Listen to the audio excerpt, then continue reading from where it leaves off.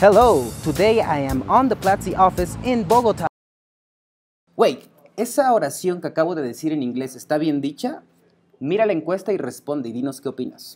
Como les contaba, hoy estoy en la oficina de Platzi en Bogotá. Este de aquí es el piso 6, aquí hacemos Platzi Live. Este es el piso 9, aquí está el equipo de producción. Este es el piso 11, donde está el equipo de Growth, que es mi equipo. Y este es el piso 12, aquí hay un montón de equipos, así que no vamos a pasar por todos ellos, pero aquí puedes ver algunos de ellos. En el equipo de Platzi tenemos un montón de gente que habla inglés, incluso tenemos gente que es políglota, es decir, que habla más de un solo idioma. Por ejemplo, hola María Andrea, Hi, ¿qué tal tu día?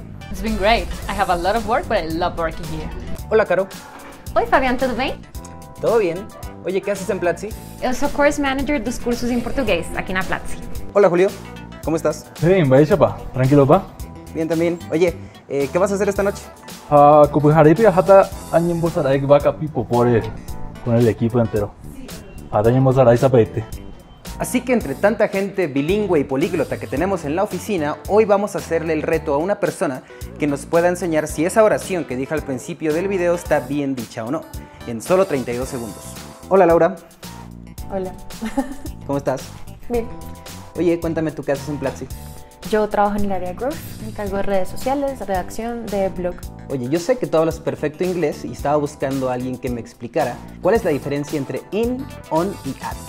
Y me gustaría que me lo expliques en solo 32 segundos. ¿Crees que puedas hacerlo? Sí. Ok, va. Empezamos en 5, 4, 3, 2, 1, go. Utiliza in para lugares muy grandes como ciudades, como países.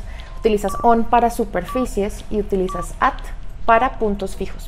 Entonces dirías in Bogotá, dirías on the 11th floor y dirías at Platzi headquarters. Hoy aprendimos en solo 32 segundos junto a Laura Barón, gracias Laura, la diferencia entre in, on y at. Aprende más acerca de cómo mejorar tu inglés en el curso de inglés conversacional que encuentras por aquí. Aquí va a salir.